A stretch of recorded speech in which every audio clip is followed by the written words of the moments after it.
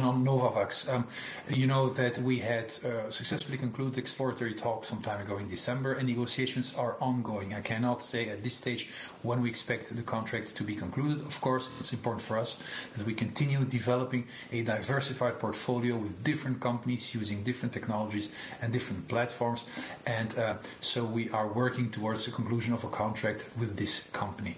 That's one thing. On the second issue, the um, doses that are available for the member states. You know that when we uh, before we sign a contract with or an advance purchase agreement with a company, member states are first asked, of course, to um, whether they want to opt out or not. This has not been the case. And then also discussions uh, take place between the member states as to the number of doses that are divided between the member states.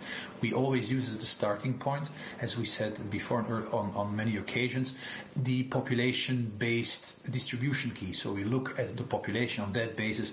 The, the distribution happens between the member states.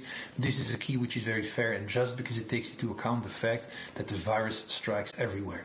But of course, member states may, if they wish, uh, have less numbers of a certain vaccine. Others may wish more of the vaccine. So it is possible that the system uh, gives this flexibility to agree on a different distribution mechanism. So member states may agree on this, and when there's an agreement on this, then indeed um, it is clear for the company also how many vaccines have to be delivered to the different member states using this new distribution key. Um, I hope this clarifies things a little bit. Thank you. Thank you, Stefan.